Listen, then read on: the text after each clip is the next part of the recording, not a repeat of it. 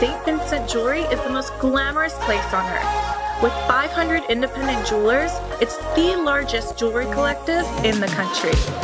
From movie premieres to nightclubs to shopping for the blingiest gifts for men and women, St. Vincent is the choice for every imaginable kind of jewelry.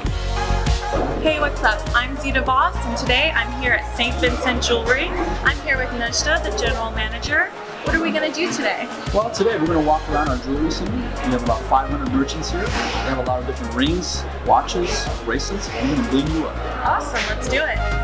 When I arrived at St. Vincent's, I was overwhelmed by all the options. I feel like a kid in a candy store.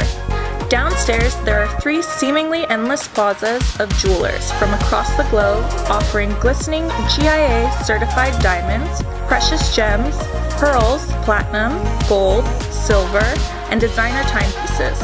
All the glam a girl could dream of. Next, we're going to visit Saro at Sierra Jewelry. Saro is legendary for the dazzling diamond jewelry he designs for the who's who of glam. Photos of his A-list clients line the walls of his shop. Just outside St. Vincent's Jewelry is St. Vincent Court, one of downtown LA's coolest hideaways. I never realized how much jewelry I needed until I came here today.